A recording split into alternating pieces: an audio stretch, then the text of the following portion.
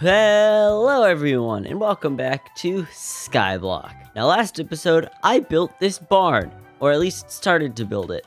And in between episodes I finished it. And honestly, I really like it. It's got a really like open feel to it. And incorporating the skylights was a really fun challenge and in the end it turned out really nicely. But uh, that's all I did last episode. Well, I also made this guy's platform, but you can see that. Now, these past few episodes, you guys have been voting for what I actually do in the episode. And each time, I've been including a joke option. And you guys actually chose that. You voted for me to actually go outside and touch grass for the first time in my life. So, uh, guess I gotta go do that.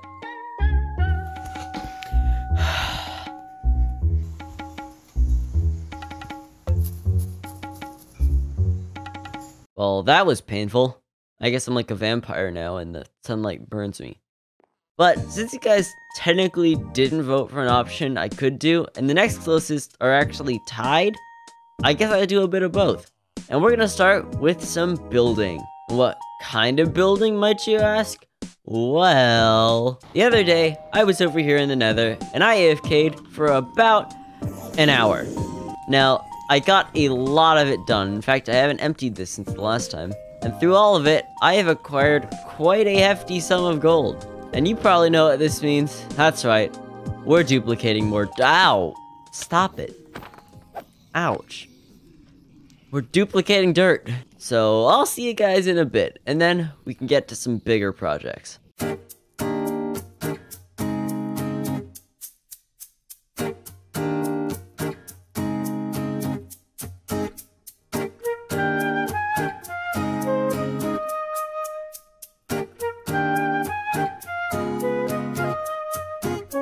More I have to duplicate dirt, the more I wish that for one, I had made that piglin bartering farm that I talked about a long time ago, and two, that duplicating dirt was easier. But now that it's mostly done, and I say mostly because I still have two stacks of gravel left, I have mostly duplicated the dirt. Now my plan for the dirt is to split it between two things. For one, I'm placing it over here. And two, I'm also going to be making some new and expanding my old farms. And when I mean that, I mean these. I'm probably going to bring the dirt all the way out here, as well as bring them longer, maybe even make more, I don't know. There's also this area back here, which could be a good spot, but I'm not sure. Really, it just depends how things go. So let's start off with this right here. I'm going to try and not use all my dirt in this one spot.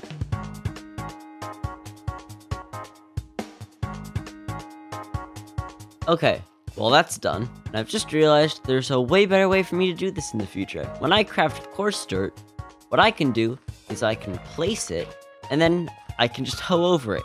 I don't have a hoe, I'm gonna go make one. So basically, if I hoe it once, it turns to dirt. I literally just have to place the coarse dirt, then hoe over it, and then just let the grass spread on it. I've been wasting so much time this whole time. And I don't really need this hoe either, so bye. Oh yeah, you might be wondering why I just threw an iron hoe in the void. Well, due to my work on the barn, the iron farmer has been loading basically the whole time. And it turns out, that means I get a lot of iron. So yeah, infinite iron is true this time. But you know, bragging about being rich in Skyblock out of the way, let's get to work on the next farm.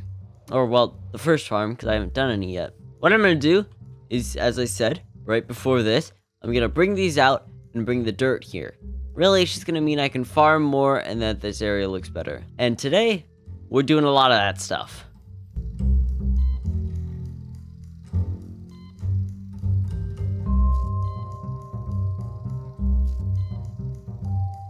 Okay, so I finished the farms, and I realized, just as I had started, that I probably shouldn't have thrown out that iron hoe because I literally needed it. So I had to craft a brand new one, but I got it all done, and now I can throw this one out again. So let's move on to the next farm, which is actually the next farm this time. If you've been paying attention a lot in my episodes, you will have realized that I am constantly running out of oak logs, or even just oak wood, because it is quite a major part of my building. And while uh, this farm is not sufficing, so back in this corner, I'm gonna make more oak wood. And I just realized that's gonna require me getting more oak. I should have thought this through. I don't know how much I have. 25. Great. Well, I'm too lazy to collect more, so I'll do with what I got. And I know completely well this is just not going to be enough. I'm also running in torches, but I'm lazy too. let's use some of my coal, which I won't be able to get any more of, and I'm currently wasting. Don't you love when you do that? Alright, me being self-deprecating out of the way. Let's do some building. Again. Yeah.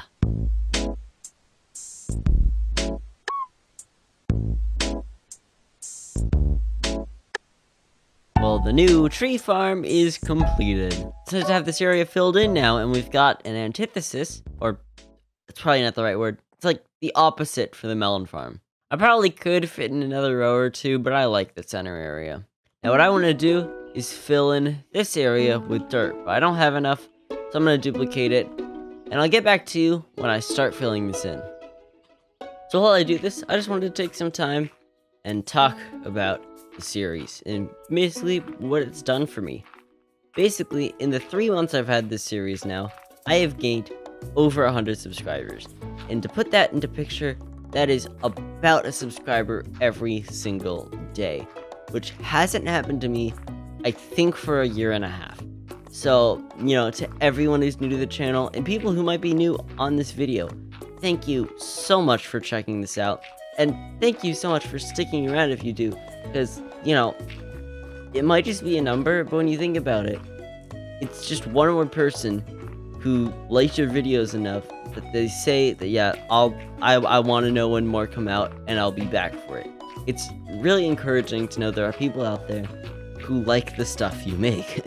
and this Skyblock series has allowed more people to find my channel and to see the stuff I make. And the fact that a hundred of you have seen that and be like, I like this 15 year old kid's content is pretty cool. Though the way I stated that sounded kind of weird you know, scrap that last part, I guess. With this channel, really, I want to try and make what makes me happy and mostly is enjoying for you guys. Because, you know, if you guys aren't liking the videos, you guys aren't going to come back, and then I'm making videos for no one. That's why I've started doing the community tab polls. Then you guys can vote on the best thing that you guys want me to do. If I could get more, you know, input, I would. So leave it in the comments below. Leave it in the comments on the community polls. Do anything you want. Get the message to me, you know? But, um, talk it away. Let's move out to our next option. Or next task. I'm, it's getting kind of late. I'm confusing myself with my speech now. So for a bit now, I've had my nether portal located right here. And it's a horrible location. Like, honestly, if I come out through the nether and I keep walking, boom, I fall down. So what I'm going to do is move it inside, more specifically into here. This area is kind of like, it's like the back rooms. Whoa, no, not really. That was a stupid analogy. But what I'm going to do is I'm just going to move like my nether portal in here or something, because then it's out of the way, and then I don't have to worry about it. That That's basically it. Why is there a loose horse here? I didn't know I could have more passive mob spawning. Huh. Really interesting. You know, I love when this stuff happens. It's so great. So yeah, I'm gonna have to go mine more wood, and I can get this room started.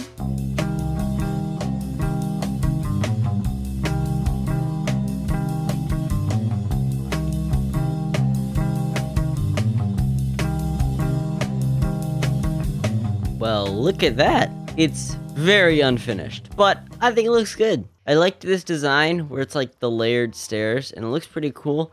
And the nether portal here works a lot better, though I do still need to remove the one above ground, so uh, let's do that. I'm also noticing that the animals are spawning back again, which probably means I ended up moving them out of spawn chunks, which is really good because that saves a lot of work if I need to spawn more things. But uh, let's quit talking about mob spawning and remove this portal.